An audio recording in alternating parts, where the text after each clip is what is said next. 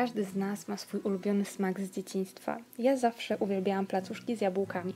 Należałam do straszliwych niejadków, a one akurat jako jeden z niewielu obiadów mi naprawdę smakowały. I zawsze ostatni placuszek należał do mnie. Zaczynamy od umycia i starcia na dużych oczkach jabłek. Odciskamy z nich nadmiar soku. Następnie miksujemy jajka z cukrem.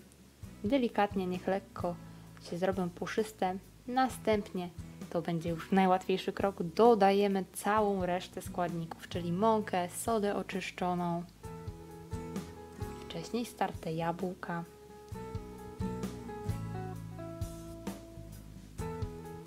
oliwę, a także kefir. Ja go dodawałam stopniowo w trakcie miksowania. Możecie spokojnie wlać całość naraz.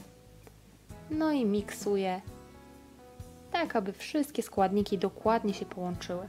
Następnie na patelni rozgrzewam olej, mniej więcej, żeby dno było pokryte cieniutką warstwą i wlewam ciasto. E, mi na patelni mieszczą się cztery placuszki. Jeden placuszek to jedna e, czubata łyżka ciasta. Smażę po około jednej minutce z każdej strony, tak aby były takie e, złocisto-brązowe. No i tu pierwsza partia jest gotowa. Za chwilę jeszcze Wam pokażę drugą partię usmażoną na trochę mniejszej ilości tłuszczu. Możecie też spróbować na mniejszej, tylko trzeba uważać, żeby wtedy nie przywarły do dna patelni.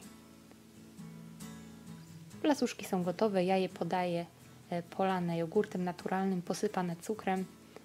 Tak się prezentują, są smaczne, a po więcej przepisów zapraszam na www.jedzonko.tv. Pozdrawiam!